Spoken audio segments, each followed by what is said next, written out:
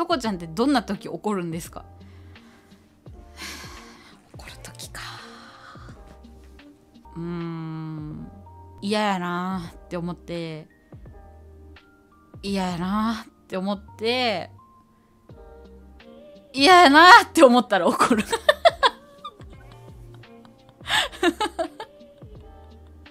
で最近怒った？最近？最近別怒ってないななんかその23回言っても守ってくれへん時とかは「うんうんうんそう。うん」ってなる。うんうん守ってくれないんですか？うんって思うけどイライラで収まるタイプ？イライラも別に。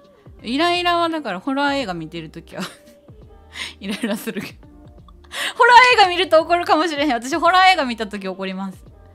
あのエスターとパラノーマルアクティビティを見ると私は怒る。あれ見ると怒りますね。恐怖とかじゃない。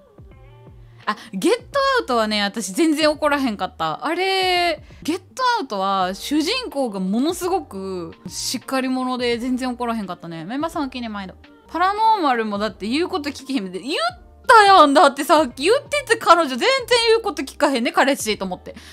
彼氏か旦那か忘れたけど。言うこと聞かへんからこんなことになってこれもう言うこと聞いてたら15分で映画終わってたのにと思って。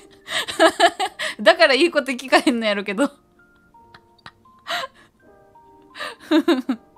いやほんにねホラー映画に出てくる警察。本当に何もないんだね。分かったよ。つって帰っていくの。いやあるやん。どう見てもあるのにもかかわらずものすごく言うこと聞いちゃうの。どうして？嗅覚がゼロ。思ったりするね。だから怒る時はホラー映画を見た時。次。